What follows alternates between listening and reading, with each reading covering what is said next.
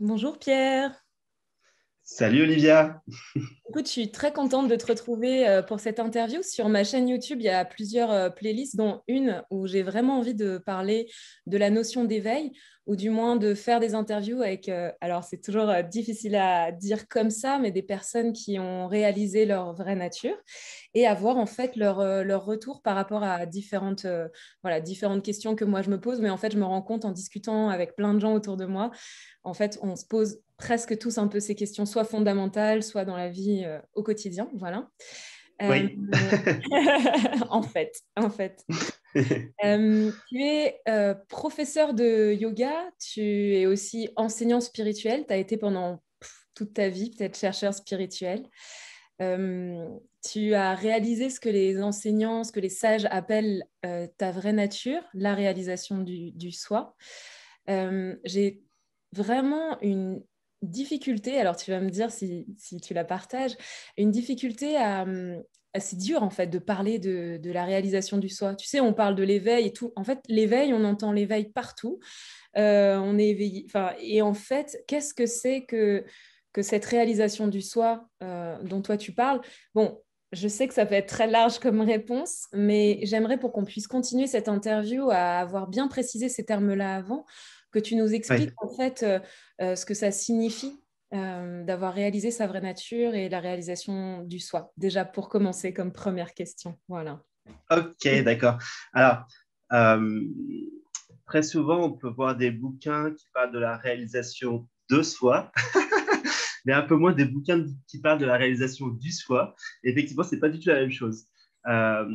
toute la question est de savoir c'est quoi le soi dont on parle pour la plupart des gens, lorsqu'on leur demande euh, qui es-tu ou c'est quoi euh, le moi, ils vont te répondre au niveau de ce qui est euh, objectif ou objectivable, ce qui est perceptible. Donc, ils vont dire je suis un nom, je suis ma forme. Ils vont se définir comme étant le corps, comme étant un genre féminin, masculin, un âge, etc., une profession, euh, un rôle dans la société. Je suis père de famille, je suis, euh, voilà, je suis l'enfant de un tel, je suis le frère de un tel, etc. Euh, on va se définir comme ça avec toutes sortes de, de caractéristiques et de choses qui sont nommables, qui sont simples à comprendre, effectivement, mais on ne va pas chercher quelle est vraiment la source du moi. en fait, parce que le moi dont on parle souvent, c'est un moi euh, construit de toutes pièces. Donc, selon les sages, en fait, il y a un moi euh, individuel, que souvent on appelle l'ego en Occident. Et donc, ce moi, c'est la source de tout ce qu'on croit. En général, enfin, c'est la, plutôt c'est la somme de tout ce qu'on croit. Donc, toutes les croyances ajoutées, ça donne un moi euh, fictif. il y a aussi la, notion de personnalité, etc. Donc, sur le plan, ce que j'appelle le plan relatif, c'est-à-dire le plan de, de humain, de tous les humains, euh, effectivement, il semblerait qu'il y ait des différences. Donc, il y a des personnalités différentes, etc. Il y a des constructions de ce moi, euh, du coup, qui, est un moi personnel euh, qui semble différent. Donc, effectivement, en surface, on va dire, le moi est différent. Chacun semble avoir un caractère différent, etc. mais là, on ne touche pas encore à, l'origine. Qu'est-ce que le moi? Et, la vraie question, en fait, des sages, c'est pas qui suis-je, c'est euh, euh, moi quoi. si on prend les termes au niveau sanskrit, euh, donc ça veut bien dire le moi, c'est quoi exactement? C'est ça la vraie question. Et donc quand on enlève tout ce qu'on a appris, donc quand on enlève par exemple quand on enlève le nom, quand on enlève bah, j'ai appris que je suis un genre féminin masculin, quand on enlève le métier, quand on enlève l'âge, parce que tout ça c'est du mental l'âge, tout ça, etc. En fait, euh, ce sont des choses apprises, mais ça ne dit pas réellement euh, ce que l'on est. Ce que l'on est au-delà de tout conditionnement. Donc, ce que l'on est euh, fondamentalement. Voilà. Et les sages disent que ce que l'on est fondamentalement, alors, il y, en a qui disent que c'est indéfinissable. Alors, c'est vrai que c'est indéfinissable parce que le mental ne peut pas l'appréhender. Le mental est trop limité pour comprendre ce dont on parle. Et donc, ce dont on parle, euh, moi, je, le nomme présence, conscience, Euh, dans les Écritures, on le, nomme, je suis. Donc, je suis, c'est vraiment le sentiment le plus intime de ce que, de ce que l'on est. D'ailleurs, d'ailleurs c'est, être. Donc, c'est vraiment ce que l'on est, euh, fondamentalement. Et, donc, c'est, une euh, conscience, mais c'est pas une conscience plus quelque chose. Parce que pour la plupart des gens, si, si par exemple, si je dis je suis un homme, là, c'est conscience plus quelque chose. C'est conscience plus, ah, tiens, il y a un corps on dirait que c'est un corps d'homme, donc je suis un homme. Mais en fait, non, c'est pas ça. C'est je suis sans quelque chose derrière. Donc le, je suis, euh, on l'appelle absolu en Inde, le, pur je suis. Quoi. Euh, ou dans la Bible aussi, hein, Dieu se définit lui-même euh, devant Moïse comme étant je suis. C'est le nom de Dieu et je suis. Je suis, je suis est la conscience pour les, pour les maîtres, pour, pour tous les textes sacrés en fait. Hein. Donc c'est ça qui, qui se réalise quand on réalise de soi, c'est cette conscience qui, euh, qui n'est pas quelque chose de, de ramener de l'extérieur, c'est pas quelque chose d'appris sur soi, c'est quelque chose qui a toujours été là. Ça a toujours été là euh, avant même de, avant même d'avoir un corps physique, avant même de naître, et ce sera toujours là euh, quand le corps sera plus là. Et c'est c'est la seule chose entre guillemets, c'est pas une chose, mais c'est la seule chose qu'on ne peut jamais retirer. Tout le reste, tu peux le retirer dans l'expérience. Euh, ton corps peut être altéré, on peut enlever un bras, deux bras, euh, deux bras, deux jambes, on peut avoir un mental altéré, on peut enlever des pensées, euh, on peut, même au niveau subconscient, au niveau inconscient, on peut, on peut enlever plein de choses, on peut tout enlever, même au niveau énergétique, on peut, il peut se passer des choses, on peut enlever des aspects énergétiques, mais par contre, on ne peut jamais enlever le fait d'être. Il y a toujours, il y a toujours conscience, quelle que soit l'expérience qui est, entre guillemets, euh, sous nos yeux, quel que soit ce qui est perçu, il y a toujours, il y a toujours conscience. Hmm. Et même quand, quand bien même tu feras l'expérience du vide absolu, ce que les bouddhistes appellent la vacuité, euh, la vacuité, c'est une expérience, ce n'est pas la réalisation du soi, mais euh, le fait de pouvoir expérimenter le rien signifie qu'il y a une conscience qui est là pour le voir. Hmm. Donc la, la, la conscience prévaut à toute expérience. Hmm. Avant même la création de l'univers, il y avait conscience. Hmm. Ce, que, ce que tu décris paraît peut-être aussi loin, tu vois, pour certaines personnes, et en même temps, ce que tu décris est fondamentalement ce qu'on est. Les mots pourraient paraître compliqués pour expliquer quelque chose qui, si je m'arrête deux secondes là maintenant, je me rends bien compte qu'il y a quelque chose qui fait quelque chose au-delà de, qui fait l'expérience de ce, de cette, de là, de ce qui est en train de se passer. Et, euh, et, et en fait, je dis ça pour inviter peut-être les personnes qui regardent là l'interview juste à se dire, mais il y a bien cette sensation, ce quelque chose qui est en train de, ressentir, d'être là dans l'expérience de la vidéo, etc. Enfin, de regarder cette interview. Et c'est ça, vers ça qu'on pointe quand on parle de la conscience qui fait l'expérience de quelque chose. C'est ce quelque chose qui vit pleinement, entièrement l'intégralité de l'expérience qui se vit. Exactement. C'est, ce n'est pas une expérience. La réalisation du soi ou l'éveil, ce n'est pas une expérience, puisque c'est cela par quoi toute expérience est vécue. Donc, c'est, ça prévaut à toute expérience. Et effectivement, les sages pointent euh, ce qu'aujourd'hui on appelle le retournement de la conscience, c'est-à-dire, ça ne veut rien dire en soi, parce que la conscience est partout, mais ça veut dire euh, que plutôt que de faire comme on fait d'habitude, c'est-à-dire se projeter vers ce qu'on perçoit, que ce soit des pensées ou que ce soit des, perceptions vues, perçues avec les sens physiques. Là, on va, ou vers les sens énergétiques, ça dépend de, ce qu'on appréhende. Euh, là, on va ramener l'attention à sa source. Et à la source de l'attention, justement, euh, ben, la conscience est fondamentalement attention. C'est-à-dire que la conscience, c'est une présence, euh, comment dire, vigilante par nature, consciente par nature, sans effort, en fait. Il n'y a pas d'effort à faire. Mm. Il n'y a pas d'effort ça a été justement l'une des clés euh, du basculement, l'une des clés de l'éveil. Quand il y a eu réalisation du soi, je me suis rendu compte qu'il n'y avait pas d'effort à faire pour être. C'est-à-dire que le fait d'être est, naturel et spontané et très, très simple, effectivement. Et bah, du coup, on peut se reposer là. Mm. Et alors, il y a aussi un.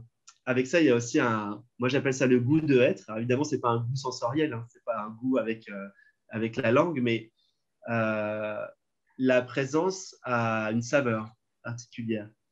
En fait, si on enlève si on est capable de discerner tout le champ perceptif, donc c'est-à-dire bah, encore une fois toutes les émotions, l'énergie, les pensées, les sensations physiques, et si on est capable de retirer tout ça par un, certain discernement, pas forcément le retirer dans le sens euh, que ça soit plus là, mais euh, juste un instant, une fraction de seconde, euh, détourner son attention de, de tout ça, et ben on va se rendre compte qu'il y a, il y, a, une stabilité dans l'expérience, il, y a un fait d'être, il y a quelque chose qui est, il y a une présence, et cette présence-là, en fait, a, la saveur du calme.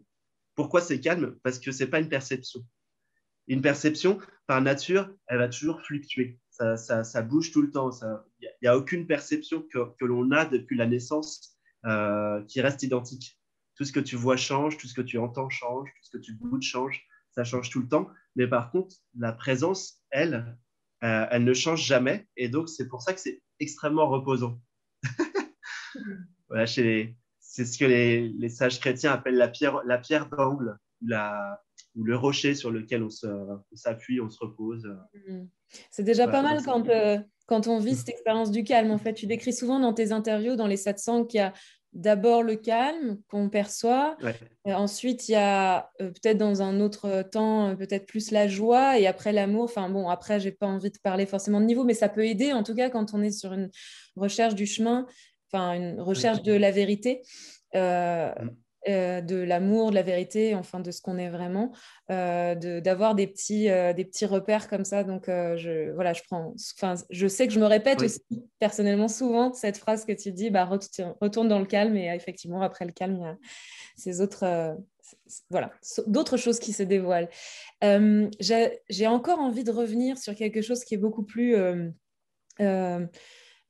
voilà, du point de vue de, de, la, de la, vie, euh, du quotidien. Voilà, j'avais envie d'essayer dans cette interview, si j'y arrive, hein, à ramener euh, là à notre, à notre, quotidien, parce que voilà, je pense à pas mal d'amis avec qui on échange, et j'ai la sensation qu'ils ont cette perception de, de cette paix, de ce quelque chose, qui sont encore pas mal identifiés au personnage et en même temps ils sont sur un, chemin de sagesse, c'est-à-dire que peut-être qu'ils sont même beaucoup plus sages que certains euh, chercheurs spirituels euh, hyper euh, rigoureux que je rencontre. Et c'est marrant en fait, c'est, je dirais, sans que ces personnes-là, donc qui sont dans, la, dans le spirituel et le développement personnel, toutes ces choses-là, mais n'ont pas conscience, et c'est difficile pour moi d'aborder la question justement de, mais en fait, ce que tu cherches vraiment, c'est la réalisation du soi, mec, juste, mais tu vois, enfin, mm. tu ne l'as pas encore réalisé, enfin, que c'est ça que tu cherches, mais en fait, c'est la, la, fin du personnage, en fait, ce que tu cherches. Pour, euh, et en même temps, je trouve que, eh ben, ils ont des qualités de sagesse, de d'amour, euh, peut-être encore plus développé euh, parce voilà encore plus développé que certains qui sont dans la recherche ultime de la réalisation du soi et qui sont peut-être presque hyper euh, ouais rigoureux peut-être même durs. Et finalement il manque un peu ce côté joyeux et amour en fait. Et ils savourent moins la vie je trouve que les autres en fait. Je suis, mm. voilà je suis pas en train d'opposer mais tu vois ce que je veux dire? Qu'est-ce que Est-ce que tu pourrais me dire quelques mots sur ce, ce, ce, ça? En, fait, il y a donc déjà, tout le monde est sur le chemin spirituel sans s'en rendre compte et tout le monde cherche la réalisation du soi. Euh, c'est la, première phrase que j'ai dite après ma première expérience d'éveil quand j'avais 19 ans. J'ai dit à ma mère qui était dans le salon, euh, je suis sorti en trompe de ma chambre et je lui ai dit, euh, j'ai trouvé ce que je cherchais depuis toujours. Et sans le savoir, en fait. Sans le savoir, une fois qu'on goûte à ça, on sait que c'est ce qu'on avait toujours voulu. Et voilà, tout le monde cherche la plénitude, la complétude le bonheur constant. Enfin, c'est ce que tout le monde cherche. Et euh, alors, il y, a plein, plein de types. En fait, il y a une infinité de types de chercheurs spirituels. Donc, euh, et il y en a aussi qui viennent, on va dire, avec euh, des, certaines antériorités. Donc, pour qui, antériorité, ça veut dire que dans les vies antérieures, ils ont déjà commencé une sadhana, par exemple, une pratique spirituelle, un chemin spirituel. Et eux, ils continuent à leur rythme tranquille. Et effectivement, peut-être que naturellement, ils sont nés avec, euh, on va dire, certains acquis, entre guillemets, euh, des, vies euh, passées. Donc, pour eux, c'est naturel, il y a des choses qui sont naturelles. Et puis, ça peut arriver aussi qu'il y ait des personnes qui vont comprimer toute la sadhana en très peu de vie. Donc, ils vont, ils vont avoir plus de, comment dire, plus on va dire plus d'ego, allez, pour, pour que tout le monde se comprenne, même si ça ne veut rien dire, mais euh, plus, plus d'ego, donc plus de choses à transcender, à nettoyer, etc., plus de croyances euh, limitantes. Mais comme ils, ils veulent, euh, comment dire, avant, de, avant de prendre naissance dans cette vie-ci, ils ont, ils ont, ça, ça a souhaité aller vite. Donc, mm. du coup, ils sont focus uniquement sur le chemin spirituel et ils sont très durs et ils sont très guerriers. Ils, veulent que ça aille euh, super vite et ils, on va dire, ils taffent comme des fous. voilà. Ils, ils comme des malades. Ils savourent un peu moins la matière. Ils savourent pas. Voilà. c'est ça. Ils ont, ils ont, eux, ils sont dans une urgence. Et, c'est OK aussi. C'est OK aussi. Hein. Il, y a, il y a de tout. Il y a, il y a, il y a des... je connais de tout. Je connais des personnes qui ont réalisé le soi de manière totalement naturelle. Tu vois, des gens qui étaient très simples, qui avaient même jamais lu un bouquin spirituel. Euh, et juste, ils sont dans la rue, euh, ils regardent un arbre en fleurs et boum, il y a réalisation et ça se fait euh, de manière très fluide. Euh, voilà. Ou, ou, alors des gens qui ont été très, très intenses. on en connaît même des, des connus hein, qui ont été très intenses, genre ouais, des, des, des, plus connus, voilà. pendant un an, qui s'enferment dans leur chambre sans sortir, par exemple. Ou, enfin voilà, il y, y, y, en a plein des ont mm. été aussi très intenses. Donc il y a de tout. Il y a de tout. Et euh, bah, voilà, c'est comme ça. c'est ça qui est beau aussi, c'est qu'en même temps, il y a plein de chemins. Euh, c'est toujours le même chemin, ça, va toujours à la réalisation du soi, mais euh, il y a plein de. comment dire On arpente différentes voies. C'est possible. C'est fou, Pierre, parce qu'en fait, c'est quand même le truc finalement que tout le monde cherche, le truc fondamental de, de vie après vie, enfin de cette croyance qu'il y a des vies après des vies et et, en fait, ben, on n'en parle pas. Mais tu vois, moi, j'ai remplacé le mot coronavirus par réalisation du soi. Dès que j'entends parler coronavirus, coronavirus, je me rappelle à la présence, tu vois. Donc, en ce moment, c'est le truc fondamental dont tout le monde parle dans cette, vie. Ouais, mais en fait, c'est lié aussi. Oui. C'est lié aussi, en fait, parce que toute, euh, toute forme de souffrance, comme je dis souvent, est là pour te ramener là où il n'y a pas de souffrance. Mm. Et donc, euh, quand il y a une forme de, euh, de, pression comme ça, même au niveau de l'humanité, euh, bah, l'humanité est justement dans une phase de basculement à grande échelle. Donc, c'est pour ça qu'actuellement, on en parle aussi facilement sur YouTube et c'est facile de, de passer l'information. Et c'est aussi pour ça qu'il y a beaucoup d'éveil spontané, même si c'est des gens qui n'ont rien lu. Alors oui, c'est facile d'en parler parce qu'on est un peu dans le cercle de ces gens qui en parlent, mais finalement, euh, il y a très peu de films sur ce... Sur, euh, enfin, il y a des films sur les sages, mais si tu veux, c'est comme si c'est un sujet euh, tabou, tu vois, tu, tu parles de, de, Bouddha qui s'éveille sous son arme, mais genre, euh, en fait, c'est ce que tu peux réaliser dans cette vie-là, mec. Enfin, tu vois, le truc léger de dire euh, juste enlevons, enlevons la complexité, enlevons l'idéalisation suprême et ultime du truc qui arrive au bout de 10 000 vies, au bout d'une sadhana ou d'une pratique spirituelle intense. Et en fait, non, c'est sous nos yeux. Pourquoi? C'est un peu quand même ce qu'on lit dans des enseignements euh, hindouistes ou un peu lointains. C'est quand même un truc dur et laborieux. Il faut pratiquer, pratiquer, pratiquer, pratiquer. Pourquoi aujourd'hui euh, c'est pas c'est genre euh, ouvert comme ça quoi? Enfin c'est en fait moi j'ai jamais entendu ça et pourtant j'en ai fréquenté des, des maîtres à l'ancienne et non les, les, maîtres disent pas que c'est dur et laborieux ah, non non pas, pas, forcément il y a beaucoup de sages disent que euh, chez une personne qui a, vraiment un élan du cœur, qui est là, qui est, euh, comment dire, quelqu'un qui, est, vraiment focus et qui est vraiment déterminé, il ne lui faut pas trois ans pour réaliser soi. C'est ce que disent euh, beaucoup de sages actuels, hein. ou même, je ne sais pas, Papa Ramdas, où il y, a, beaucoup de, maîtres qui disent que c'est pas si difficile que ça, mais en fait, c'est difficile si tu ne sais pas ce que tu cherches vraiment déjà. C'est important de bien clarifier les choses. Euh, parce que c'est difficile, par exemple, si tu n'as si pas de. Comment dire Si pas un, discernement très affûté, c'est difficile parce que tu vas papillonner à gauche, à droite. Euh, et en plus, tu vas, tu vas te perdre parce que l'ego va te faire croire que, euh, par, exemple, par exemple, un truc très courant, c'est le pouvoir, c'est la spiritualité. Donc, il va te faire aller vers de la clairvoyance, des expériences énergétiques, des expériences de sortir du corps, etc et, tu vas te détourner comme ça de, de l'objectif. Mm. Donc, ça, normalement, si c'est clair en toi, si ce que tu veux est très clair, euh, c'est pas c'est pas difficile et c'est pas si long que ça. C'est pas laborieux forcément. D'accord. Non, parce qu'on voit qu'il y a beaucoup d'appelés et finalement, comment dire, la sensation que quand même c'est un peu le Graal et qu'il y en a, y en a. Oui, il y a beaucoup de gens aujourd'hui qui se réalisent, mais que ça reste quand même quelque chose d'assez, voilà, comment, j'ai pas envie de dire difficile, mais rare, enfin, oui, qui demande, euh, oui, peut-être comme tu dis. En fait, ce qui fait que ça semble rare, c'est que euh, la majorité des, des, réalisés, des, entre guillemets, des éveillés, euh, n'en parlent pas. Il y a beaucoup de gens qui n'ont pas la vocation à transmettre et à partager. Et s'il y a vraiment quelque chose de difficile à transmettre, transmettre, je veux dire, dans le sens, par ne serait-ce que par la parole, à, à parler de ça, euh, parce qu'on ne peut pas transmettre la réalisation, on peut juste en parler, on peut, enfin, on peut l'émaner éventuellement, on peut par le satsang, par la présence. Mais euh, mais il y a beaucoup de gens qui ne sont pas forcément, euh, ils n'ont pas l'élan de ça. Donc en fait, ils, restent dans leur coin et, et donc il n'y a peut-être même pas 1% des êtres qui réalisent le soi qui, qui en parlent. C'est pour ça que ça paraît comme quelque chose de. Et il y, en a qui réalisent le soi et qui ne savent même pas que c'est ça en plus.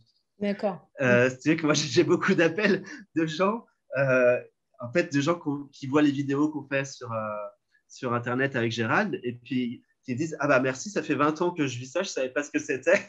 Maintenant, j'ai compris. Quoi. Parce que c'est tellement pas notre culture. C'est, voilà, c'est ça. Faut dire ce qui est. Ce n'est pas notre culture, donc on ne. Oui, ça c'est. Voilà, ouais, je pense. Ouais. Alors que tu vas en Inde, le boulanger du coin sait parfaitement ce que c'est que la réalisation du soi. Tout le, tout le monde comprend. Tu vas à Rishikesh, euh, il y a des seins à tous les coins de rue. Elle était, là, ma question, tu vois, Pierre. Pourquoi c'est le truc dont tout le monde, même dans le monde, même dans le milieu spirituel, euh, enfin, euh, tout le monde cherche ça finalement. Derrière la fin de la souffrance, finalement, c'est la vraie fin de la souffrance, c'est la réalisation de notre vraie nature. Pourquoi juste on n'en entend pas, même dans tous les milieux spirituels, tant parler que ça? Je connais plein de personnes qui parlent de, de tas de sujets, de développement. Enfin, et en fait, la réalisation, j'ai l'impression que ça reste quand même encore un, un truc un peu euh, à part. Enfin, je ne sais pas comment te l'expliquer autrement, mais c'est quand même pas. Il y a des tas de livres de plein de trucs, euh, mais en fait, finalement, pour que ça pointe réellement vers la réalisation du soi, ben tu vois, moi, ça m'a fait ça parce que je suivais des enseignements et à un moment donné, je fais, mais non, mais je veux juste que tu me parles de la réalisation du soir. En fait, je, je, je veux pas ça, en fait, les détails de ça. De... Je veux pas faire du yoga pour faire du yoga. ce que je veux, c'est ça, entendre parler de ça, tu vois. Et, et, je me dis, mais pourquoi il n'y a pas tant de gens qui, même les profs de yoga, alors que le yoga, c'est quand même l'unité avec le divin. Enfin, c'est ça ma question. Mm. ah oui, euh, bah parce qu'en en fait, on en est au début de l'ère euh, où ça, ça, commence, mais on n'en est pas encore au point euh, où tout le monde sait ce que c'est, tout le monde en parle ouvertement.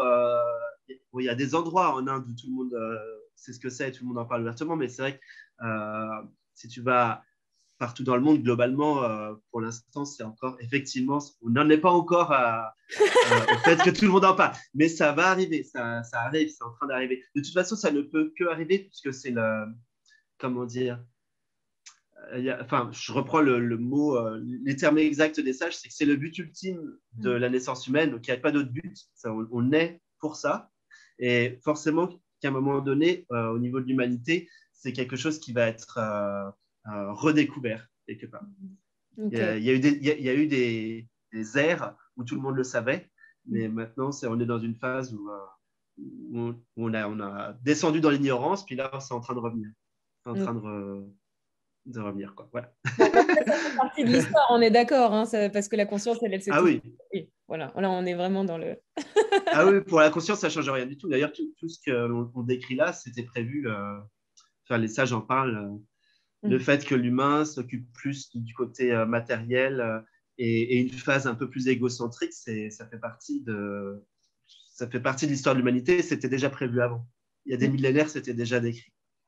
Donc il n'y a, aucune surprise. Mais moi, je suis un petit peu inquiète, figure-toi, parce que je t'ai entendu dans une interview dire euh, oui, ça va arriver dans genre un bon 100 ans quand même avant que toute l'humanité vive dans cette plénitude, je veux dire, d'une façon planétaire, quoi. Euh, oui, c'est à peu près entre. L'année exacte, je ne sais plus, mais c'est entre 150 et 160 ans. Ouais. C'est beaucoup. Quelque chose comme ça. Je trouve que c'est beaucoup. bah, c'est beaucoup. Ça dépend. Par rapport à l'âge de l'univers, c'est pas tant que ça. ça dépend toujours de son référentiel. non, c'est pas, c'est pas énorme, c'est pas énorme. Et, et, il faudra de toute façon que l'humanité, justement, ait cette accessibilité à la sagesse, puisque là, au niveau matériel, on, on est en train d'arriver à des outils qui commencent à devenir vraiment, vraiment puissants. Donc, l'humanité, au niveau matériel, elle en est à la phase de son expansion. Euh, comment dire il y, a, plusieurs phases dans, l'expansion d'une civilisation. Et là, elle en est à la phase où euh, elle est capable maintenant, on, est vraiment à l'aube du fait de, sortir de la Terre pour aller euh, coloniser les, autres planètes. C'est une phase importante dans une civilisation. On n'en est pas encore à être une civilisation intergalactique, mais on est au début de la phase d'expansion de la civilisation. Et donc, il y a plein de trucs au niveau matériel, euh, au niveau technologique qui vont être euh, très impressionnants dans les années euh, prochaines, qui vont se révéler. Et s'il n'y a pas la sagesse qui va derrière, ça ne peut pas fonctionner. Donc, heureusement que, ouais, heureusement qu'il y a cette sagesse qui va arriver en même temps. Il faut les deux, en fait. Oui, oui, bien sûr, il faut les deux. Je tenais quand même à signaler pour les personnes qui regardent cette interview, s'ils veulent en savoir plus sur le parcours de Pierre, tout son cheminement, il y a une interview géniale qui a été faite par Olivier Vinet. Euh, voilà, sur euh, la radio ici et maintenant. Et là, tu décris vraiment tout ton cheminement. Et voilà, j'avais pas forcément envie de te poser des questions sur tout le cheminement de Pierre. Euh, j'avais envie de te poser d'autres questions. Pour faire un petit, voilà, un petit retourner encore aux choses bien, bien concrètes en fait, on parle de l'objectif ultime de, la réalisation, enfin de chaque être humain qui est la réalisation. Et en même temps, il faudrait pas que ça reste comme une espèce de tension vers laquelle on a envie d'aller comme un objectif futur à réaliser. En fait, c'est ça le paradoxe, je trouve vachement intéressant dans cette réalisation. C'est qu'en même temps, on nous dit que c'est déjà là, c'est déjà ceux qui observent là maintenant, c'est déjà ceux qui fait l'expérience, voilà, là, ici et maintenant. Et en même temps, euh, on parle de c'est le seul objectif alors je ne sais pas si tu le dis comme ça, que les sages tolèrent. Enfin, c'est le seul vouloir. qui est ouais, le seul désir, ouais. Le seul désir qui est toléré. Désir signifierait que euh, que je ne l'ai pas déjà en fait. Désir signifierait qu'il euh, y a quelque chose à aller atteindre. Or, si j'ai bien compris, il y a bien des obstacles à la réalisation, euh, euh, c'est d'imaginer qu'il y a un objectif. Je vais, je vais expliquer pourquoi je dis que je, vais, je reviens dans le plus concret, alors que là, la question n'est pas du tout concrète, mais je n'ai pas perdu le fil. Je, je, veux te poser une question par rapport à ça. Donc, objectif et en même temps, lâcher l'objectif, c'est quand même un grand paradoxe.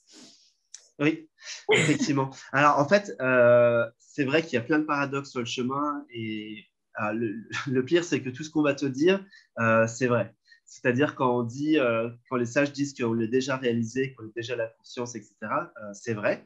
Le, la seule, le seul petit détail qui fait la différence, c'est que on croit qu'on ne l'est pas. Et c'est ça qui change tout. C'est exactement comme une personne, moi je prends souvent la métaphore en fait d'une personne qui serait en parfaite santé, euh, que tu mets dans un état hypnotique et que tu lui fais croire en fait à cette personne que je sais pas, euh, elle est euh, justement que sa santé est altérée et qu'en fait elle a une santé dégradée et qu'elle ne, elle ne peut pas bouger par exemple. Et là, en état hypnotique, elle va croire qu'elle souffre, elle va croire qu'elle peut pas bouger, etc. Le pouvoir de sa croyance va l'empêcher en fait de, de goûter ce qu'elle est réellement. Et c'est le même principe avec la réalisation, c'est en fait ce qui fait qu'on se qu'on ne se sent pas libre, c'est qu'on ne se croit pas libre. Mm. C'est uniquement ça. C'est-à-dire qu'on se croit être une personne limitée, on se croit être euh, une forme séparée dans un monde de formes séparées. Et ça, on, croit ça euh, parce que c'est le fonctionnement même du mental qui fait ça, et on est identifié au mental depuis tout petit. Donc, euh, depuis tout petit, on compare les objets, on les catégorise, on les nomme, et, et et on s'inclut soi-même dedans, c'est-à-dire, enfin, c'est pas le vrai soi, là, je parle, mais on inclut le corps dedans, et on dit, ok, euh, et en plus, on va mettre l'étiquette moi, pas moi. Donc, on va dire, euh, par exemple, un stylo, c'est pas moi, et le corps, c'est moi. Et alors que ce, sont tous les deux des objets perçus, pourtant, ce sont tous les deux des objets euh, qui apparaissent à la conscience, mais on va prioriser certains objets. Après, on va dire ça j'aime, ça j'aime pas. Donc, a ce qu'on appelle like and dislike en Inde. ça, ça, je veux, ça je veux pas. Euh, et à, ce moment-là, il y a un phénomène d'attraction et de répulsion qui va commencer à, gouverner notre vie sans même qu'on s'en rende compte. On va se sentir attiré ou repoussé par des, forces sans arrêt, euh, de désir justement.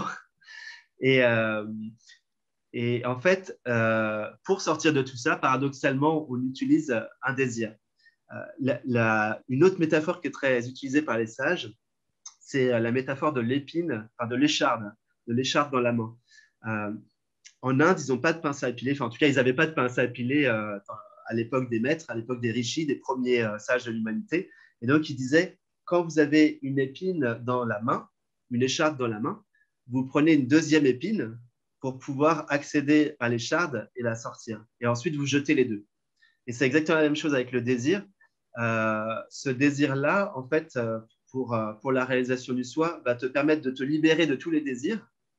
Parce que, en fait, ce qu'il faut bien comprendre, c'est qu'un désir, pour les sages, ce n'est pas une envie. Une envie, euh, ce n'est pas quelque chose qui va toucher euh, qui va t'affecter au niveau de la paix intérieure si tu ne l'as pas. Alors qu'un désir, tu y es assujetti, c'est-à-dire que si tu n'as pas l'objet de ton désir, tu souffres. Et, donc, c'est pour ça que euh, le désir de réalisation est toléré, parce qu'en fait, c'est le seul désir qui te permet de transcender tous les désirs. Voilà, c'est uniquement pour ça qu'on l'accepte. Mais euh, il faut bien savoir un truc, c'est que ce désir-là ne naît pas de la volonté humaine. C'est-à-dire que quand tu as le désir de réalisation du soi, en fait, c'est ce que j'appelle l'élan du cœur, c'est-à-dire que c'est que la conscience est prête pour euh, se reconnaître elle-même. Ce n'est pas le petit personnage qui décide de, s'éveiller, ce n'est pas la personne, ce n'est pas une idée euh, comme ça. Euh, si tu lis un bouquin et que c'est pas mûr intérieurement, ça va rien faire. Souvent c'est du jour au lendemain, ça nous tombe dessus, on n'a rien choisi. Et c'est un peu comme euh, un peu comme tomber amoureux de d'on ne sait pas quoi. et on sait que c'est par là qu'on veut aller. On est attiré, le, cœur est attiré vers cette libération, euh, tout comme le, fruit qui est mûr euh, sent qu'il il est presque détaché. C'est prêt à tomber, c'est presque libéré. Donc, donc voilà, c'est ça. Et pour finir, du coup, ce désir, jusqu'au moment où, donc c'est le seul qui est acceptable, jusqu'au moment où je on réalise que ben, j'ai même pas besoin de, de, cet ultime désir, de cette ultime croyance, puisque euh, je peux lâcher cette dernière croyance de la séparation. Euh, de... Je disais ça parce ça, que... Ça rejoint, ce que, ça, rejoint juste ce que je te disais tout à l'heure, quand je t'ai dit, euh, j'ai réalisé, pendant 17 ans, j'ai cherché avec une grande intensité, et juste avant la réalisation, j'ai réalisé que je n'avais aucun effort à faire pour être. C'est ça, en fait c'est qu'il n'y a, a, plus de désir. En fait, le, désir ne, rime à rien puisque tu te rends compte que tu es déjà complet euh, tel quel. Tu n'as pas besoin de quelque chose en plus. Donc, le désir n'a plus de raison d'être là. voilà. Et certains maîtres décrivent la réalisation comme l'état sans désir. Ce qui ne veut pas dire qu'on n'a pas d'envie, pas de passion. Pas, au contraire, on est comme un enfant qui s'émerveille de tout sans arrêt. Donc, euh, il y a de la joie, il y a énormément de joie, euh, mais on n'a pas de désir. On n'est plus assujetti à, quoi que ce soit, euh, puisqu'on sait qu'on n'aura jamais, comment dire, que le bonheur ne viendra pas de ce qu'on désire. Mm. Parce que le bonheur est déjà là. Mm. Alors, je disais tout à l'heure que je voulais te poser une question concrète. Je disais ça parce que dans cette justement dans cette recherche de la réalisation, qui n'est pas une recherche, euh, dans ce désir de réalisation, il y a aussi euh, bah, la vie quotidienne, quoi, la vie. Et, euh, et ben, dans, cette, dans la vie, là, ça a envie, de, de par exemple, de, de, faire des choses. Je pense notamment à des entrepreneurs. Et en fait, j'avais envie de te poser cette question par rapport aux entrepreneurs parce que je t'ai entendu dire plusieurs fois, mais moi, je connais des entrepreneurs qui ont réalisé leur vraie nature ou des personnes qui sont sur le chemin et qui sont entrepreneurs. Euh, et, moi, je travaille beaucoup avec les entrepreneurs. Je suis moi-même entrepreneur et, j'ai la sensation que c'est aussi un chemin de réalisation parce que ça moi, ça me permet de lâcher beaucoup de croyances, beaucoup de... Voilà, c'est voilà, un, un chemin, je trouve, comme un autre. Et, euh, et, et, du coup, c'est pas exclu d'être sur un chemin, euh, voilà, d'être entrepreneur et sur un chemin spirituel authentique. Enfin, disons, vraiment dévoué à, cette recherche et en même temps de jouer, parce que c'est vraiment qu'un jeu, de jouer à, à gagner de l'argent. Voilà, je vais placer le mot argent. J'ai vraiment envie qu'on aborde ce sujet-là à gagner de l'argent, à faire des devis, des factures, à faire des prestations. Et, euh, et, pourtant, derrière, il y a cette, ce désir de vérité, de réalisation qui est, qui est là en même temps. Et, euh, et ça vient se comment dire, oui, la pratique vient s'infuser aussi dans, cette, dans, ce jeu de, de, de l'entrepreneur. La question, la question c'est qu'il y a aussi beaucoup d'entrepreneurs qui sont sur ce chemin spirituel, qui veulent être mm. authentiques, qui veulent se tourner vers la vérité et l'amour, et pour qui ça grince beaucoup. Il y a beaucoup de culpabilité d'être entrepreneur, de gagner de l'argent, d'être heureux, euh, tu vois, dans cette vie d'entrepreneur. Pourquoi? Quand euh, on a cet attrait ou cette, euh, cette joie dans la spiritualité, euh, il y a un truc de culpabilité vis-à-vis de l'argent, d'une mmh. vie pleine et épanouie dans laquelle, ben oui, matériellement, ça fonctionne aussi. Pourquoi il faudrait que ce soit souffrant, matériellement difficile, pas gagner beaucoup d'argent? Pourquoi il y a cette culpabilité mmh. vis-à-vis de l'argent? Je crois que c'est là la question. Ah, c'est dans notre culture, c'est un petit peu, ça c'est l'aspect un peu judéo-chrétien des choses. Euh, surtout dans la, enfin, pas mal dans l'Ancien Testament. Il y a, alors je ne sais plus le terme exact, mais euh, il y a une opposition qui est dite dans, les textes, dans les anciens textes dans l'Ancien Testament sur euh, le fait que l'argent est ramené un petit peu au diable qui te détourne un petit peu de, de la vérité. Enfin, il y a une opposition entre Dieu et l'argent dans, dans, les Écritures. Alors c'est vrai qu'il y a aussi Ramakrishna chez les maîtres indiens qui dit que l'ennemi euh, du chercheur spirituel, c'est, euh, enfin, pour les hommes, c'est woman on, gold, donc c'est l'or et la femme. Euh, alors, moi, je dirais pas exactement ça. Moi, je dirais plutôt que c'est qu'est-ce que tu places derrière, en fait? C'est toujours ça. C'est quel est ton, quel est le motif? parce qu'effectivement, on pourrait résumer ça comme ça et dire oui, il suffit. ça, c'est la voie très traditionnelle, tu vois, la voie monastique, c'est euh, pour rêver les lettres, dans le temps, les gens, ce qu'ils faisaient, euh, c'est qu'ils supprimaient l'avoir et le faire. Comme ça, es réglé. Il y a trois modalités chez l'être humain, l'avoir, le faire et l'être. Donc, si tu peux réaliser l'être, t'enlèves le faire, t'enlèves l'avoir. Donc, t'enlèves le faire. Euh, donc, dans les vœux traditionnels monastiques, c'est il y a le vœu d'obéissance et il y a le vœu de chasteté. Donc, comme ça, c'est réglé. C'est comme tu obéis, tu n'as aucun faire. En fait, on te dit juste fais ça, fais ça, fais ça. Et en fait, toi, tu, tu es centré sur l'intériorité, puis ton corps agit. Et il n'y a aucun avoir non plus, puisque dans les vœux traditionnels monastiques, il y a le vœu de pauvreté. Donc, comme ça, c'est réglé. Euh, comme ça, bon, bah, l'être, il peut se révéler davantage, normalement, si tu es sincère. Euh, pourquoi pas, ça marche aussi. Bon, c'est un peu old school, mais euh, ça, fonctionne. Aujourd'hui, l'important, c'est pas tant le fait d'avoir de l'argent ou pas d'argent. L'important, c'est de voir quelle est ta relation à tout ça. Euh, est-ce que euh, est-ce que tu es, est es, en tension euh, par rapport à quand tu regardes ton, compte en banque? Est-ce que ton, ton, humeur est liée à, est liée à ton compte en banque? Est-ce que, est que plus le compte en banque monte, tu es content et quand il descend, tu n'es pas content? Si tu arrives à, avoir une certaine équanimité vis-à-vis de ça, il n'y a pas de problème en soi. voilà. Si tu le prends, comme tu disais tout à l'heure, comme un, comme un jeu, il euh, n'y a pas de souci, puisqu'en fait, c'est ce que c'est. Euh, la conscience, elle est là pour s'amuser dans la matière, donc elle joue à faire toutes sortes d'expériences, pas qu'au plan humain, hein, au niveau végétal, minéral, euh, au niveau des planètes, etc. La conscience s'amuse à créer toutes sortes d'expériences, donc tu peux t'amuser à, à, faire plein de choses. par contre, il y a une idée qu'on a souvent, là pour le coup, c'est une idée très actuelle qu'on a souvent en Occident, c'est que l'argent, c'est l'abondance matérielle. Euh, alors en fait, non, c'est pas du tout l'abondance. L'abondance dont parlent les maîtres, c'est recevoir, recevoir exactement ce dont tu as besoin quand tu en as besoin et ça n'est pas lié à l'argent. Tu, peux euh, avoir, tu peux être multimilliardaire par exemple et il peut y avoir plein de situations de vie où ton argent est impuissante dans la situation.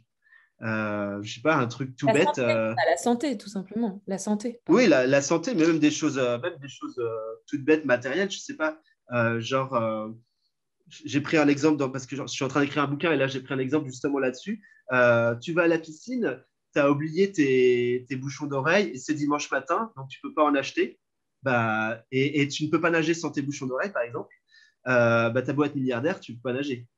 Sauf que si tu es dans l'abondance spirituelle, intérieurement, tu te dis, ah mince, il me faudra des bouchons d'oreille. Et là, deux secondes après, tu les vois par terre apparaître devant toi tout neuf.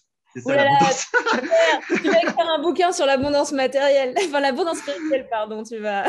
Moi, j'ai une période comme ça, euh, je pourrais écrire euh, des, livres là-dessus, mais c'est vrai que j'ai une période où où je jouais avec ça et où je m'amusais à ce qu'on appelle aujourd'hui la pensée créatrice. Je me suis beaucoup amusé avec ça avant que ça soit la mode.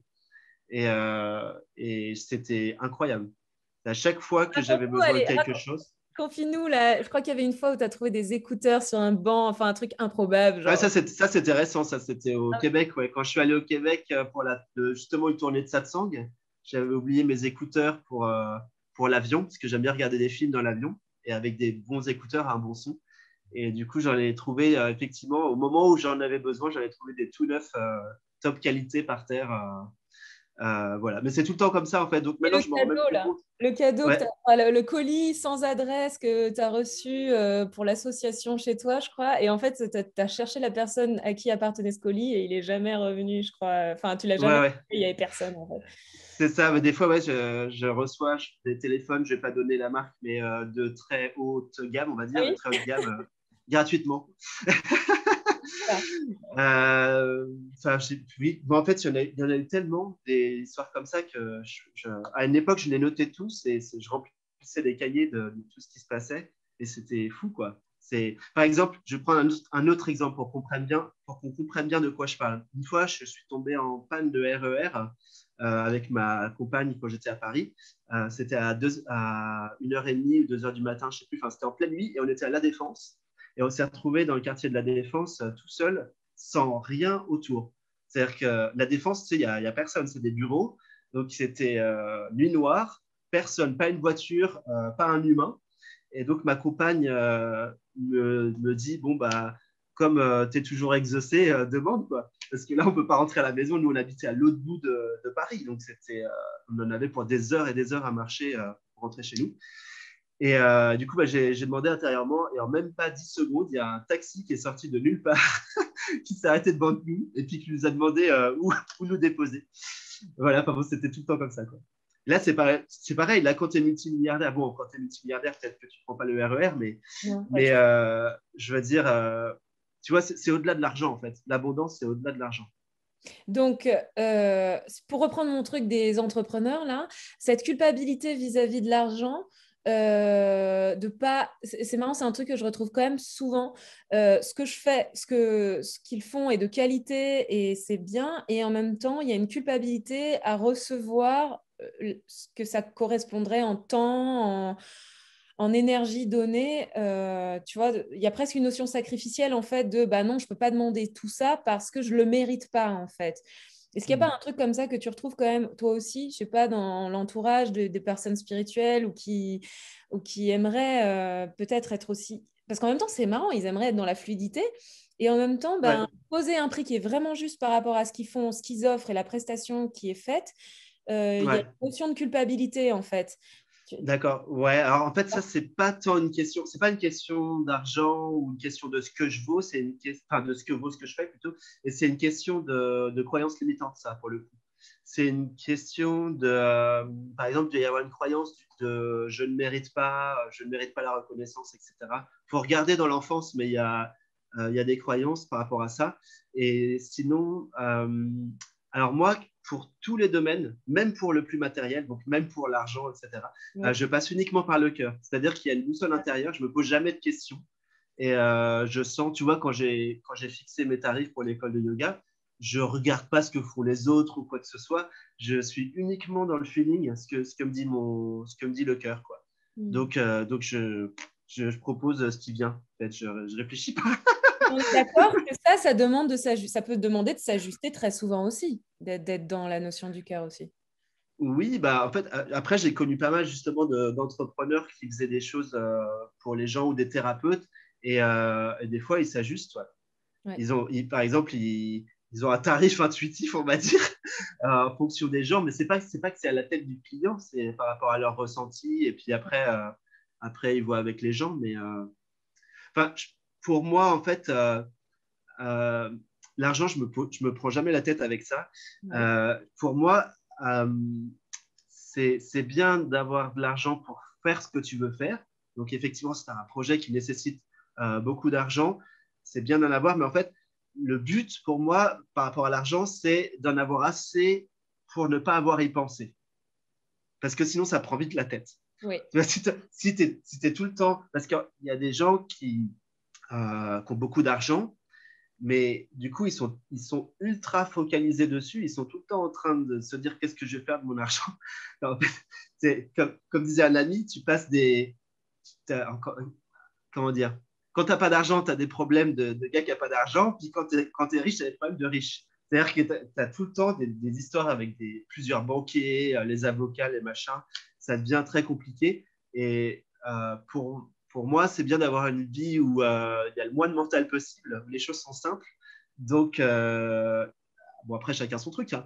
Donc, mais pour moi, je trouve que le, le, bon seuil pour voir si on a assez d'argent, c'est quand on n'a plus à y penser, quand on n'a plus à se, à se préoccuper de, de, tout ça. On peut peut-être ah, se poser la question aussi intérieurement, et puis ça va peut-être répondre à quel endroit, ben, c'est bon, je, comment dire, c'est la même chose que de se poser la question pour euh, les prestations. C'est à combien, voilà, à l'intérieur de moi, c'est apaisé. Euh, est-ce que c'est à temps Est-ce que c'est à temps Est-ce que c'est à temps Et puis à partir du moment où on a cet argent-là, ben, on, juste on, lâche en fait. Enfin, je sais pas, ça peut être une bonne boussole en fait de juste suivre. Ouais, bah, en fait, pour, pour, moi, ce que je dirais, euh, parce qu'on m'a déjà, une fois, à la fin d'un cours de méditation, mes élèves, je leur ai dit une fois, posez n'importe quelle question. Euh, et puis pour rigoler, il y en a un qui m'a dit, je vais lui poser une question très matérielle. Euh, comment faire pour être riche Et en fait, la, question euh, de la richesse, derrière, elle cache la question justement du bonheur, de comment faire pour être heureux et, donc, comme on dit, gagner bien sa vie. on n'a pas besoin de gagner la vie, parce que comme dirait Gérald, on est la vie. mais, mais en fait, pour moi, ce qui est fondamental, c'est pas, on ne devrait pas se poser la question de gagner tant ou tant d'argent. Ça, c'est secondaire. le plus important, c'est la passion. Si tu es vraiment passionné, si tu es authentique, euh, normalement, tu vas rayonner dans l'activité que tu fais, quelle que soit l'activité que tu fais. Euh, la présence que, que tu vas, euh, entre guillemets, émaner va parler aux autres.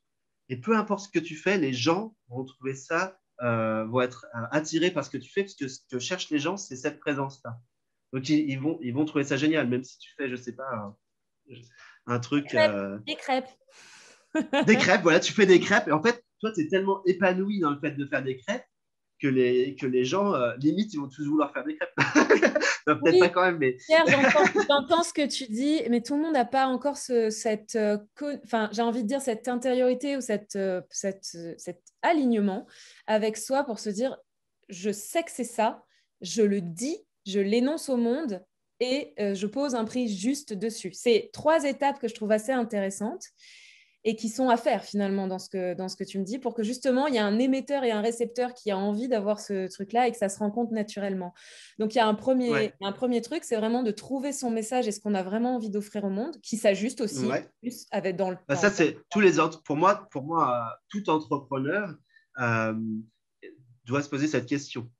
C'est-à-dire qu'il il doit se sentir... Euh, euh, quelle est cette flamme qui l'anime et, qu'est-ce qu'il veut justement transmettre. Tout ça, c'est de l'amour. Hein. Derrière, il y a de l'amour derrière tout ça.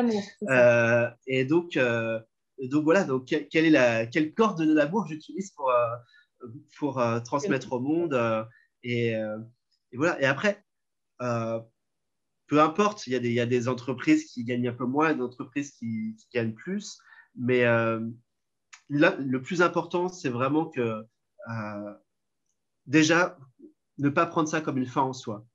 Tout ce qui est matériel, ça ne doit jamais être pris comme une fin en soi. C'est quand, Jésus disait cherchez premièrement le royaume des cieux, ça c'est vrai. C'est d'abord, tu vas à l'intériorité, tu goûtes la paix, tu euh, comment dire, tu vas à la source d'abord, et après depuis la source, euh, tu jaillis.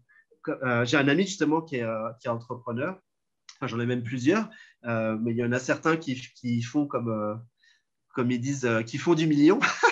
Et ils ont, effectivement, ils ont un chiffre d'affaires de plusieurs millions par an, mais c'est des personnes très spirituelles et tous les jours, tous les jours, tous les matins, ils méditent et euh, ils regardent s'ils sont justes dans ce qu'ils font, s'ils sont alignés, si ça leur correspond, s'ils ont toujours l'enthousiasme, s'il y a toujours la passion. Et, euh, en général, euh, bah, quand un entrepreneur qui aussi peut être un, patron, tu vois, un, un chef d'une grosse entreprise, quand il est comme ça, ça rayonne derrière et toute l'entreprise, euh, il y a une espèce de confiance, il y a une espèce de force collective euh, qui se met en place.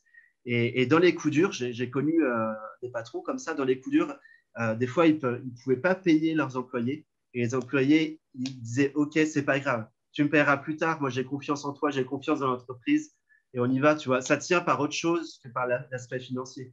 Ça mm. tient par, par, le cœur, quoi. C'est-à-dire que mm. les gens, ils sont tous dans la passion de, de, de ce qu'ils font et c'est pour ça que ça marche. C'est beau. C'est ça qui est beau.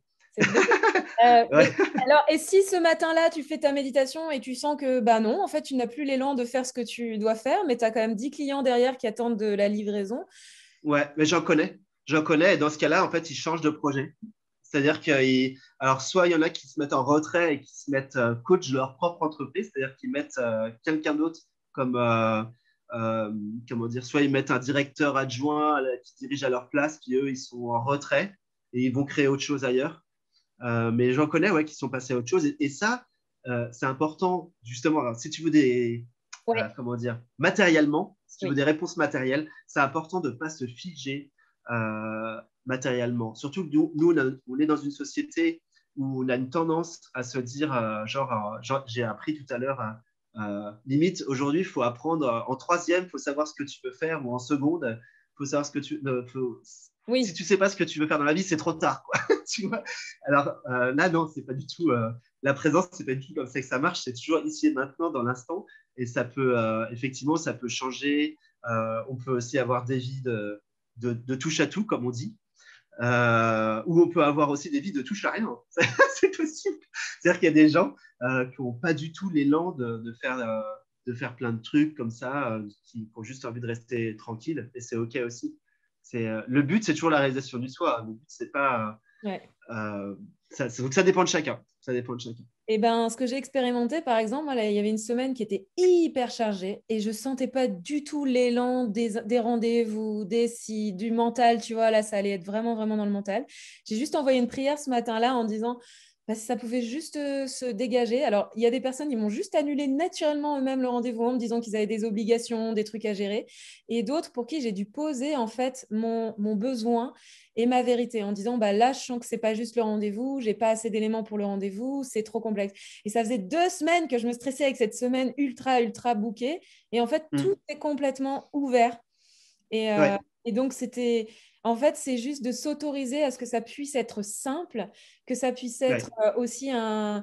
que c'est OK, en fait. On a le droit de pas avoir envie là, tout de suite, maintenant, et surtout que ce n'est pas nous qui faisons, mais ça se fait vraiment à travers nous. Donc, on va avoir l'énergie du truc pour lequel on a besoin d'avoir de l'énergie. Dans l'instant, on aura l'énergie mais juste se déposer deux secondes et dire ok là je veux juste pas gérer euh, si la vie tu pouvais gérer à ma place ça serait genre trop trop cool et franchement il y a des miracles qui se passe, pour mmh. l'expérimenter de plus en plus, mais juste s'autoriser à pas avoir envie et à pas dire oui juste par obligation en fait. Enfin voilà, je voulais juste poser ça parce que c'est comment, on, comment on intègre dans notre quotidien cette notion de présence, cette notion de maintenance, cette notion de voilà que si on est réellement tout, comme le disent les sages, comme le disent les scientifiques, alors tout, tout n'est qu'amour, effectivement. Donc, il n'y a rien qui arrive pour notre mal, en fait. Donc, on peut peut-être juste exprimer à la vie parce qu'on a fondamentalement envie et elle le sait déjà. Donc, euh, du coup, il y a comme un dialogue qui se passe et,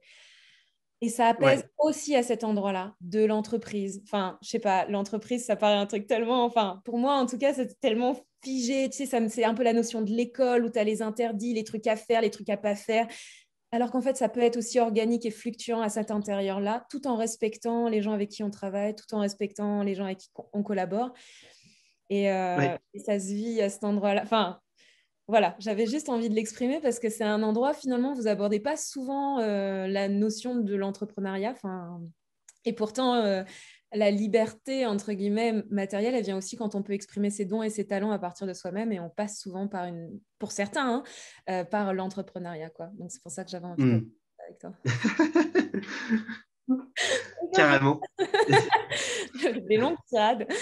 Euh, est-ce que tu voudrais rajouter autre chose sur la notion de l'entrepreneuriat? Je sais que tu n'as pas énormément de temps et je voulais aborder une dernière chose. Euh, ben, en fait, pour moi, c'est comme tout le reste, c'est-à-dire qu'il faut vraiment suivre l'élan. Il faut suivre l'élan du cœur, il faut suivre ce, qu'on ressent. Et, euh,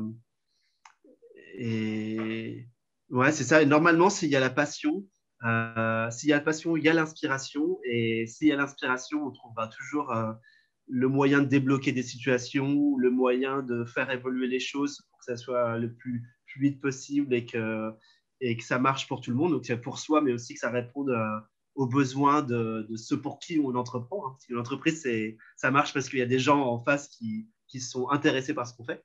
Donc, euh, il y, a, y, a, une notion de. C'est pas une personne, c'est comme une toile, quoi. Donc, tout le monde se, se, capte, en fait. Donc, la question, c'est est-ce que tu sais capter les ondes ou pas, Est-ce que tu captes le besoin ou pas? Et, normalement, si tu es ouvert, si tu es disponible, réceptif, euh, donc, euh, donc dans le cœur, tu vois, pas, pas, pas, là, mais plutôt là, normalement, tu as les solutions qui vont, qui vont s'imposer d'elles-mêmes. Ça va mm. se faire tout seul. Là, tu dis souvent suivre sa joie et en fait, c'est c'est vrai, concrètement, ça. Et, les situations se débloquent beaucoup plus facilement quand on suit cette. Oui, parce que si on, si on essaie de trouver des solutions avec le mental, euh, quand on est dans le doute et qu'on essaye de dénouer les choses en réfléchissant, ça marche beaucoup moins bien. C'est beaucoup moins efficace. Donc la question, c'est qu'est-ce qui te ferait plaisir là, maintenant, tout de suite? Eh bien, choisis ce qui, là, maintenant, tout de suite, te fait plaisir dans le sens, enfin, de ce qui t'ouvre, c'est ce que tu utilises souvent comme boussole, c'est si le, le corps s'ouvre et se détend, c'est la bonne direction. Si le corps se crispe et se referme, c'est peut-être qu'il est en train de te dire non. C'est ça. Et là, on peut C'est collectif. C'est pas que pour soi. Hein. Ça veut dire que même pour une entreprise, c'est ça. Tu peux sentir. Euh, il y a longtemps, dans une autre vie, entre guillemets, enfin non, c'était dans cette vie, mais euh, à, une époque, à une époque, je travaillais euh, sur les capacités de clairvoyance et les capacités médiumniques. Donc, c'était quelque chose que j'avais l'élan de faire ça par curiosité. Et, et on a été, je ne l'ai pas fait beaucoup, mais on a été appelé justement par des entrepreneurs, donc des grosses entreprises, hein, pas des petits trucs, hein, des choses cotées en bourse et tout ça. Et ils, nous ont fait intervenir en tant que clairvoyants pour pour euh, les aider à prendre des décisions. Et en fait, euh, ben, tout le monde devrait savoir faire ça. C'est-à-dire qu'un chef d'entreprise, ce serait beaucoup plus facile pour lui s'il euh, captait intuitivement quoi faire, plutôt que de tout le temps réfléchir à se dire comment je vais faire. C'est complexe hein, des fois. si on passe par le cerveau, c'est complexe. Mais si on passe par le cœur, c'est très simple. C'est très facile. Mm. Ouais, donc euh, tout le monde, toi ce que tu dis, c'est que tout le monde peut apprendre euh, cette. Euh, tu parles de clairsentience, mais c'est clairsentience. Cette intuition, cette, et, du coup, ben, c'est là où du coup ça, ça, rejoint au final, au bout du compte, ça va finir par rejoindre la réalisation du soi, le fait d'être dans l'entreprise et dans l'entrepreneuriat, puisque en fait tu vas, tu vas faire les choses à partir de la présence et pas à partir du mental. Donc c'est la vie qui fait, comme tu comme as dit tout à l'heure. C'est la vie qui fait. Et, tu, et, et, je trouve que l'invitation, c'est vraiment, bah non, mais abandonne-toi là maintenant tout de suite. Là, de toute façon, tu n'as pas le choix. Genre, abandonne-toi. Tu, fais le truc, mais, mais en fait, abandonne-toi vraiment. Prends ce risque et puis juste fais confiance, quoi. Fais, et, et, là, tu. Ouais, exactement. c'est vraiment, non, mais c'est pour ça que je trouve que c'est très proche. Enfin, pour moi, c'est vraiment une pratique, un enseignement spirituel, parce que pour moi, ça serait facile de rester dans ma chambre à méditer toute la journée. Je trouve ça vachement plus mm. dur d'aller euh, d'aller gérer l'entreprise, euh, gérer les euh, les devis, les factures, les machins. ouais. Alors, en général, ceux qui disent ça ne l'ont pas fait. Est-ce que tu as déjà fait de méditer toute la journée? non, parce qu'en fait, souvent on oppose ça et on, va dire que c'est plus facile ou c'est plus difficile, telle voie. Il n'y a pas de voie plus facile. Moi, je peux te dire, j'ai fait les deux et il n'y a pas de voie plus simple qu'une autre. C'est également très difficile de, méditer toute la journée euh, euh, dans sa chambre, par exemple, parce que être face à soi-même 24 heures sur 24 sans avoir d'échappatoire, c'est aussi très difficile. Donc, en fait, il n'y a pas de voie plus facile, il y a juste euh, la, la voie qui nous convient et qui est faite pour nous et qui, en fait, euh, était déjà programmée, enfin, programmée, prévue, on va dire, mm. depuis la naissance. C'était déjà prévu de toute façon. Tu n'as pas le choix. voilà, bon. encore une fois, si on utilise l'élan du cœur, bah, je n'ai pas l'élan du cœur de peut-être de m'asseoir et de méditer pendant, pendant des heures. Euh. Mais là où je m'interroge, c'est quand tu es dans ta chambre à méditer, tu n'es pas confronté à des situations qui font remonter. Enfin, effectivement, ça reste encore individuel, ça reste personnel. Je pense que chacun a, ses croyances à, découvrir. Mais quand on est face à des humains, pour moi, c'est plus confrontant que quand. Je ne sais pas, disons que les situations, c'est ce que je crois, du coup, c'est que les mmh. situations euh, humaines, euh, dans l'action, dans le faire, pour moi, c'est plus. C'est là que ça me réveille plus les croyances euh, limitantes, enfin, tout ce qui a envie d'être vu Oui. Bon, en général, c'est vrai que c'est bien de, de, faire les deux. C'est bien d'aller voir dans l'intériorité. C'est bien, la conscience va s'amuser à faire des petits tests en faisant ce que j'appelle des mises en scène. Donc, elle va mettre en scène des situations, comme tu dis, pour voir où tu en es intérieurement, en général, pour voir si ça, si ça passe le test ou pas. Et euh, du coup, voilà, c'est très drôle. Mais, euh, mais de toute façon, ce que tu vis euh, dans le monde correspond exactement à ton état intérieur. Mm. Donc, quand tout est réglé, les situations qui peuvent être conflictuelles, par exemple, n'existent plus. Ça n'arrive plus. Ça mm. t'arrive plus jamais. Mm. Voilà. C'est des fois, on me dit, mais tu ressens bien de la colère, des fois, etc. Mais en fait, je voudrais bien, mais je ne peux pas mettre en colère. Ça n'apparaît jamais. tu n'as pas d'occasion de te mettre en colère, en fait, c'est ça. Ouais, j'ai pas. Puis en plus, ça fait au moins dix ans que j'ai pu ressentir ce que ça fait, mais, euh, mais euh, non, je peux pas. Je... Ça ne se crée plus, en fait, parce qu'il n'y a plus la nécessité de cela. Il y a, La souffrance n'est pas gratuite. La souffrance, elle est là pour réaliser notre nature. Ou, alors, euh, en, résumé, en fait, il y a, on pourrait dire qu'il y a deux voies pour, se connaître soit tu souffres et tu es ramené à te connaître parce que tu fais un demi-tour et tu, tu, justement tu réalises ce qui ne peut souffrir, ce qui ne peut pas, enfin, ce, qui est intouchable. Soit euh, tu, entre guillemets, tu fais un travail sur toi, comme on dit, et donc du coup, tu n'as plus forcément la nécessité de souffrir beaucoup, puisque tu es déjà en train de, euh, par toi-même, tu es déjà en train d'enlever les croyances et tout ça, donc la vie ne t'en rajoute pas des couches. Bon, des fois, ça, des fois, ça arrive que tu sois un peu testé, mais en général, on souffre infiniment moins quand on est sur un chemin d'introspection que, que quand ce n'est pas le cas. Parce que, parce que justement, la, la, vie, la conscience euh, va faire en sorte que tu, que tu te tournes vers ce que tu es réellement.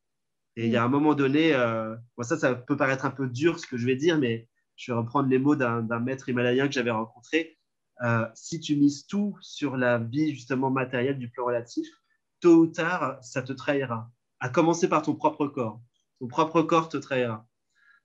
Avec le vieillissement, avec les douleurs, avec les problèmes de santé, etc. Si tu, mises tout dans le plan matériel, automatiquement, il y a un moment donné, tu vas, va y avoir souffrance. Alors que si tu vas directement tu dis à la source que quand, quand, on est sur un chemin spirituel, en fait, dans l'intériorité, on souffre moins. Mais rassure-moi quand même pour tous les chercheurs spirituels qui connaissent Pierre et qui sont là, Pierre, c'est un idéal, j'aimerais être comme lui et pas souffrir, parce que tu dis qu'il n'y a plus de colère, il n'y a plus de souffrance. Sur ton chemin spirituel, ça a été souffrant à un moment donné, euh, ce désir ardent qui ne se réalisait pas, a entraîné de la... Alors, oui, oui, oui. Alors, matériel, matériellement, je n'ai pas beaucoup souffert euh, et je suis certain que c'est lié à la sadhana, puisque mm. euh, bon, il y a beaucoup d'histoires comme ça en Inde où, par exemple, quelqu'un va voir un astrologue et, et, puis l'astrologue ne comprend pas. Il faut savoir qu'en Inde, il y a des astrologues qui sont très pointus, donc ils peuvent te dire là, tel, tel moment, tu aurais dû être malade, tel moment, tu aurais dû avoir un accident, etc. Et, et ils posent les questions et rien n'a eu lieu. La personne n'a jamais été malade, n'a pas eu d'accident, etc. Et en fait, euh, l'astrologue ne comprend pas pourquoi. Et en fait, la raison, c'est que la personne, elle fait une sadhana, elle fait un chemin spirituel. Quand tu fais un chemin spirituel, ce qu'on dit, c'est que euh, le karma négatif, ce qui est censé t'arriver pour te faire comprendre des choses, ne t'arrive plus. Puisque tu l'as déjà résolu intérieurement, ça ne, peut pas t'arriver. Donc, au niveau matériel, j'ai jamais eu de problème. Je, dirais même que j'avais des grâces tout le temps, tout le temps. C'est genre, par exemple, euh, si je manquais d'argent, l'argent me tombait du ciel. Je l'avais ça, ça, arrivait. Quoi. Soit je le trouvais par terre, ou soit quelqu'un me le donnait sans que je demande rien. Donc j'ai toujours eu tout ce que je voulais matériellement. Par contre, c'est vrai qu'au euh, niveau euh, intérieur, j'avais euh, ce qu'on appelle la mélancolie du paradis perdu. C'est-à-dire que je, je, cherchais un peu comme un. Ouais, c'est ça, comme, comme quelqu'un qui aurait perdu son, son amour, je sais pas, son, sa, son épouse ou son. ouais, c'était ouais, vraiment ça, quoi je me sentais perdu dans. Il me manquait euh, l'essentiel. Je sentais qu'il me manquait l'essentiel. Donc, oui, euh, à ce niveau-là, ouais, y il y avait une souffrance. J'avais quand même envie mm. de préciser ça parce que les personnes peuvent idéaliser toi ou Gérald, en fait, euh, beaucoup. Enfin, je, je, sais que moi, des fois, je vais pas bien, je regarde une vidéo, je me dis, mais non, mais là, ils vont trop, trop bien. Et je sens à l'intérieur, j'aurais besoin d'entendre aussi que c'est passé par des moments bah, de souffrance, de questionnement, de moments où c'était complètement perdu et finalement il restait qu'une chose, ben, la prière ou, demander à ce que la vie le fasse pour soi, ou Dieu, ou Jésus, ou peu importe ce qu'on choisit, mais. Euh, mais tu sais, euh, en fait, ouais, ouais, mais même, même ce qu'on appelle des avatars, c'est-à-dire des êtres qui viennent sans karma négatif, justement, sans, sans aucune épreuve à, à, avoir à vivre sur Terre. Je n'aime pas trop employer le mot épreuve, mais je le dis pour qu'on comprenne ce que ça veut dire, c'est-à-dire sans, épreuve, sans, sans difficulté. Voilà. Et même des êtres, donc des avatars, comme par exemple Jésus, euh, ils sont passés par des phases de souffrance intérieure. Et pourtant, ils n'avaient aucun karma négatif. Donc, euh, donc c'est tout le monde y passe. En fait, je, je connais, je connais personne euh, qui a vraiment jamais vécu de souffrance intérieure. Quoi. C'est, mm. ouais. C'est intéressant. C'est normal, mais c'est le cadeau parce que c'est ça qui fait que tu. En fait, c'est le moteur. C'est ça qui fait que tu retournes à la maison. Si tu n'as pas ça, tu, tu resterais dans le, dans le, rêve, comme disent les sages. Tu resterais dans ton rêve. Quoi. Tu serais bien dans le rêve et tu ne voudrais pas sortir du rêve.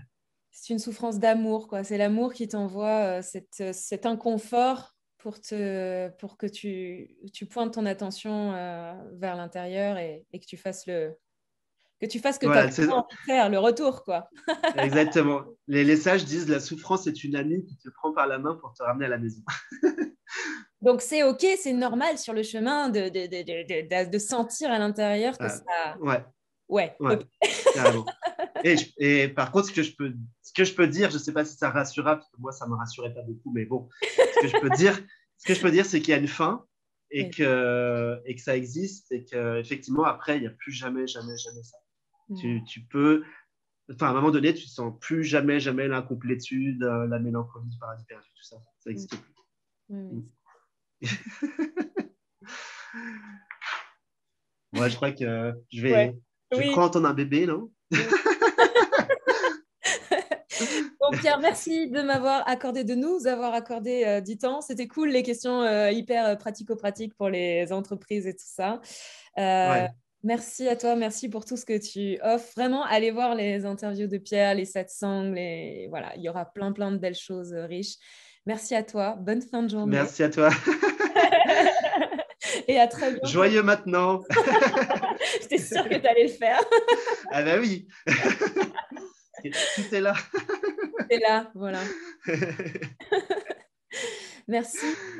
Salut, merci à toi. merci beaucoup.